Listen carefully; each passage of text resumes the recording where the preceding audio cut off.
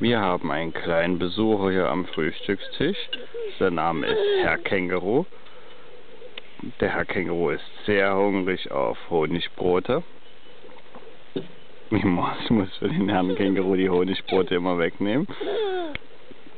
Und der kleine Tim hat doll großen Spaß mit dem Känguru. Hm?